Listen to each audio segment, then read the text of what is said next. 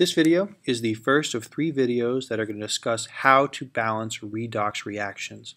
Uh, specifically, we'll be talking about redox half reactions, a skill you'll be using in later balancing activities, as well as balancing reactions under neutral conditions.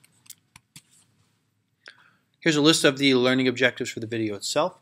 We'll begin by refreshing you as to what a redox, redox reaction actually is. We'll then talk about the concept of redox half reactions. What does that mean and how is it useful for us? And last but not least, we'll take some time to talk about the first type of balancing, the easiest, which is balancing reactions in neutral conditions. Uh, we'll have a couple breaks throughout the process to talk about some examples and hopefully make what is a fairly ab or abstract idea a little bit clearer. So as I already said, we're going to begin our discussion with a quick recap of what redox and reduction oxidation really means. Uh, and the key term here is the idea of a transfer of electrons between atoms during a chemical reaction. And we can see that graphically shown in this diagram here. We've got our electron donor over here and our electron acceptor over here. It's going to donate this electron from its um, orbitals of electrons into the other one here. That process of donating electrons is known as oxidation. The elect atom or the molecule, I should say, that receives those electrons is undergoing the process of reduction. Oxidation requires the loss of electrons, which means an increase of positive charge. The gaining of electrons or reduction involves the um, the increase of negative charge and becoming a more negative substance. Now, the thing that is new for this kind of topic is the idea of balancing redox reactions, and that's what these next couple of videos are all about, uh, which means that not only now are we worried about making sure that atoms are conserved during chemical reactions. We also have to make sure that the electrons are conserved as well. So the number of electrons gained by reduction has to be the same as the number of electrons that are lost during oxidation. So this is what adds to the complexity of balancing redox reactions. We're now worried about two things to balance as opposed to just one. Now, as we've already applied in the videos, uh, we're going to be undergoing these redox reaction balancing in three different types. Uh, we balance them three different ways, and those different ways are based off of pH. Uh, reactions under neutral conditions, we're going to be talking about in this video here. Uh, these are the very simple ones. Well, next video we'll talk about balancing reactions under acidic conditions, which requires different criteria. And last but not least, we'll talk about how to balance reactions under basic conditions.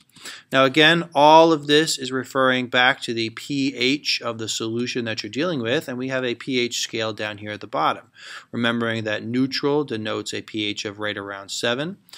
Below 7 means they're increasingly acidic. This means we're going to have an excess of H plus ions available during the reaction, and that'll be very important when we're balancing acidic um, reactions for redox. Increasingly alkaline or basic means we have an excess of the OH ion available to us, and just like in acids, this will be very valuable for us when we're balancing basic reactions. But for today, we're going to focus on reactions right here in the neutral part of the spectrum. So the major tool we use when balancing redox reactions are what are known as half reactions. So to help balance a redox reaction, we separate the reduction and the oxidation parts of the reactions and write them separately. And these separate half or these separate things are referred to as half reactions. What this allows us to see is the number of electrons that are released during oxidation and the number of electrons that are used during reduction, and it helps us to balance these. So not only will we see the atoms and make sure that they're balanced, but by seeing the separate half reactions, we'll see the numbers of electrons in each case, and that'll allow us to balance those as well. We'll put everything back together at the end of the reaction once we've balanced everything, and we should end up with a balanced chemical reaction. To do this, however, we need to be able to identify what elements are being oxidized and what elements are being reduced by first assigning oxidation numbers to all individual atoms. So instead of talking about this uh, hypothetically, I think the best way to explain this process of writing uh, oxidation and reduction half reactions uh, is simply to actually give it a try. So what we're going to do here with this particular reaction is start by assigning oxidation numbers. I'm not going to go through the steps to do this. There is another video on that. Uh, but if this does seem mysterious, I'd pause the video now and go back and check that out. Anyway, the oxidation number for copper is plus 1. Iron in this case is an element, so its oxidation state is 0. Copper ends up being 0 because it's an element, and iron in this case ends up being plus 3 because uh, it's a monoatomic ion. So again, we have to identify what's being oxidized and what's being reduced. Well, the pairings are these. Iron 0 turns into iron plus 3, and copper plus 1 turns into copper 0. Iron goes up in charge, that is oxidation. Copper goes down in charge, becomes more negative, that means it is reduction. So what I like to do when I'm balancing these reactions is then write a place underneath for reduc reduction and oxidation. You're going to leave spaces here because later on we're going to use this space in order to work with these reactions. Uh, our oxidation reaction started with iron metal, the solid. It then broke down to make iron the ion plus 3, and to do that it must have lost three electrons in the process. So the three electrons that came out are now shown here separately. In the reduction reaction, we started with the copper plus 1 ion. That turned into the copper 0 element, which means it must have gained one more electron, and then turned into the element copper. That made the charge go from positive 1 back to a charge of 0. So this is our oxidation half reaction, and this is our reduction half reaction. What you'll note is that actually, the hopefully you'll see this, the format is always the same. In oxidation, we always have electrons as the product of the reaction. And in reduction, we always have electrons as the reactant. So here's a second example. Uh, I very strongly encourage you to take a moment, pause the video, uh, see if you can assign your oxidation states, write the separate half reactions, and then we'll go over the answers in a minute.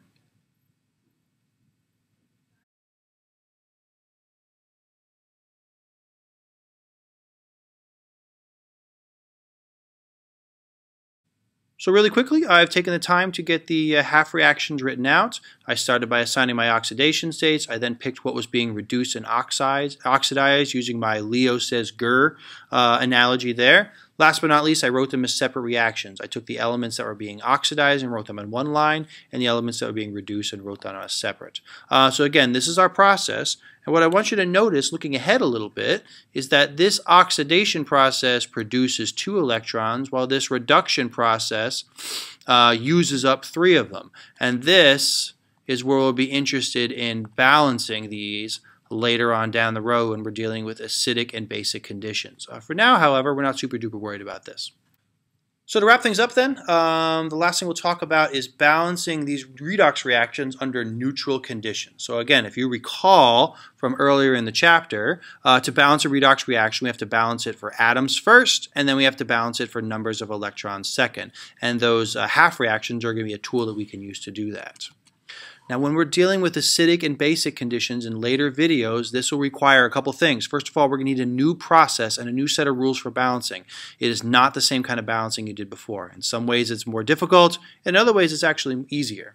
It's also going to require the addition of H plus ions, OH minus ions, and H2O ions. These are all atoms that are available, or all compounds that are available during the reaction process from our solvent, and this solvent stuff is going to become involved in the actual balancing process. It's going to allow us to balance elements while at the same time balancing our electrons.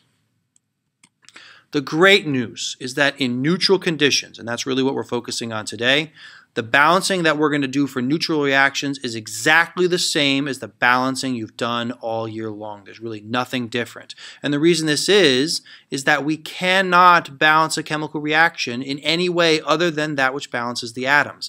Because we're not introducing any new elements, there's no different ways to combine this. I only have one possible answer. So I guess what I'm trying to say is, is without the addition of other stuff like this, like we deal with in acidic and basic, there's really no possible way to get another answer. So I'm not going to take the time to go over some examples with balancing neutral reactions. Again, it's something you guys have been doing a lot all along, and all the same rules apply. Uh, but at this stage in the game, here's what you should be able to do. Uh, you should be able to identify when you're dealing with a redox reaction. You should be able to determine the oxidation states of each individual atom in that, and you should be able to determine what element is being oxidized or reduced. This is all from old videos. What we talked about today is what's listed down here. You should now be able to write the reduction and oxidation half reactions as well as balance those redox reactions under neutral conditions, uh, which again, nothing really new going on here. It's just the same kind of balancing you've been doing all along. We'll get to the more unique and interesting balancing stuff when you watch the video on acidic balancing and basic balancing.